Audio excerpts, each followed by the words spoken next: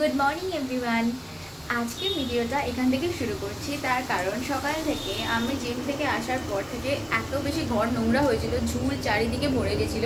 তো সেগুলো ক্লিন করতে করতে টাইম চলে গেল। তো এখন আমি আমার লাশে একটা পাঁচ মিশালি মতো তরকারি বানাচ্ছি। বাড়ি থেকে কিছু কিছু সবজিপাতি মা দিয়ে দিয়েছিল, যাতে অ্যাটলিস্ট দু তিন দিনে রোদে আমাকে বেরোতে না হয়। তো সেটা বানাচ্ছি। আর বানাতে বানাতে এসে গেল অ্যামাজন থেকে ডেলিভারি এতগুলো ওটস এক, দুই, তিন, চার, পাঁচ, ছয়, ছটা প্যাকেট ওটস তার কারণ অফারে ছিল। তাই জন্য ছটা প্যাকেট ওটস মানে তিন কেজি ওটস কিনে নিয়েছি। আর তার সাথে সাথে একটা মিনিমাম ডেলিভারি না হলে তো আবার অ্যামাউন্ট না হলে তো ডেলিভারি চার্জ লাগে। তো সেই জন্য এতগুলো, আর তার সাথে দুটো তেল নিয়েছি। তেলগুলো বাড়ির জন্য।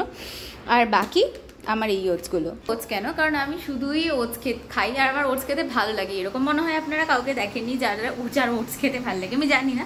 আমি তো অন্তত শুনিনি। তো আমার ওটস খেতে ভালো লাগে তো সেই জন্য। আর তাছাড়া ব্রেকফাস্টে তো আমি ওটসই খাই। তো সেই জন্য অনেকগুলো নিয়ে নিয়েছি। আর বাড়িতে হয়তো মারও কিছু লাগতে পারে। তো মাকে দিয়ে দেবো তাহলে। তরকারিটা বানানো হয়ে গেছে। আমার এক বাটি ভেজিটেবলস ওয়ালা সবজি বানানো ডান আর এখানে আটাটা মেখে রেখে দিয়েছি। এই একটা রুটি আমি যখন খাব তখন বানিয়ে নেব। সাথে সাথে স্যালাড এসব তো রয়েছে কাজ তো শুরু করে দিয়েছি, এখানে টিভি চালিয়েছিলাম, টিভিতে কিছুই হচ্ছে না। এখন কিছু আছে, পরে দেখব। কাজটা করে নিই।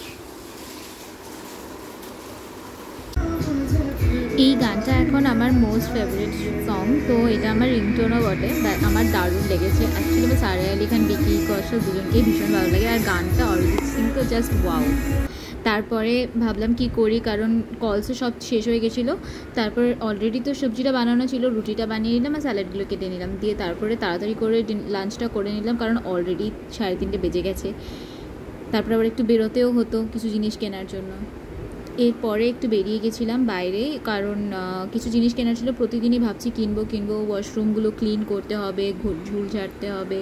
তো এই সব কিছু করার জন্য বেরিয়ে গেছিলাম। বেরিয়ে এই যে দেখছ, তোমরা ঝুল ঝাড়ু আর অ্যাসিড কিনে নিয়ে ফিরছি। আর ওই সসপ্যান, একটা সসপ্যান কিনেছি। সেটার গল্প তোমাদের একটু পরেই বলব। আমার কথাগুলো এখানে কিছু শুনতে পাবে না, তাই জন্য আমি এখানে আমার ভয়েসটা এখানে বন্ধ করে দিয়েছি। প্যানটা ছিল, সেটা অনেকদিন আগেই খারাপ হয়ে গেছিল। তো আমি ভাবলাম একটা সসপ্যান কিনে আনি। এইটুকু একটা সসপ্যান দাম বলল একশো আশি টাকা। তো যেই বললাম না কম করতে, অমনি সে আমাকে বলছে যে হ্যাঁ বা বার্গেনিং করলে কি আর সব সময় কাস্টমার দিতে যায় আমি বলছি, আপনাকে কি আমি বলেছি কম করতে? আমি আপনাকে, আমার বলার কথা আমি বলেছি। আপনার যদি মনে হয় আপনি কম করবেন কম করবেন না হলে কম করবেন না। মানে লোকজন না আজকাল বার্গেনিং অবভিয়াসলি আমাদের তো অধিকার। তো অ্যাটলিস্ট এক পাঁচ টাকা কম হলেও তো কম। তো যাই হোক আলটিমেটলি কম তো করল না। ফুল ঝাড়ুটা মানে ঝুল ঝাড়ুটা কিনেছি। আর একটা অ্যাসিড কিনেছি বাথরুম ক্লিন করার জন্য। এই আর কি। নিলাম আমার গ্রিন টি। এবার আবার কাজ করতে বসে যাব। কারণ আজকে আমার আটটা থেকে ডেমো আছে। সেই জন্য আমি এখন লগ আউট করতে পারব না সাড়ে সাতটার সময়। তো আটটা থেকে ডেমো আছে, তার আগে ডেটা প্রিপারেশন আছে সব কিছু করে তারপরে কাজ প্রায় শেষ হবে আজকে বলতে গেলে নটার সময়। তো তারপরে আমাকে হনুমানজির মন্দিরে যেতে হবে বিকজ আমি ভুলেই গেছিলাম যে আজকে টিউসডে হয়ে গেছে। তো সাডেনলি মনে পড়েছে। তো চলো, আজকের মতো এখানেই।